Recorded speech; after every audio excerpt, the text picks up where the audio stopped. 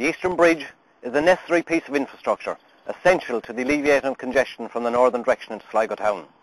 However, not in its present location.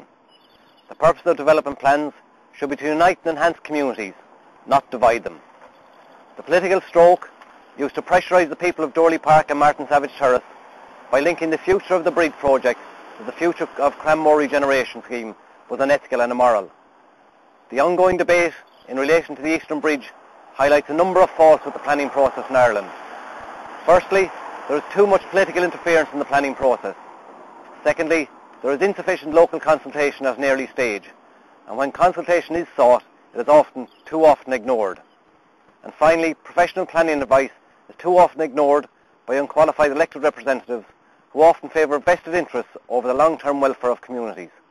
I believe the decision on development plans should be a three-way vote, and not at present relying on moral judgments of elected representatives or appointed boards. There are three interested parties in most planning decisions, and all should be given voting rights on the issue. Firstly, the qualified planners.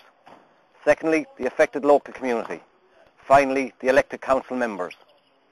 We now seem to be making a decision to destroy the communities of Doorly Park and Martin Savage Terrace by bad planning decisions.